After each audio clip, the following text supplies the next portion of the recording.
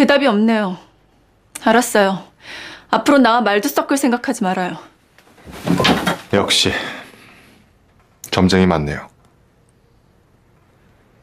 근데 혜림 씨는 반만 맞췄어요. 뭐요?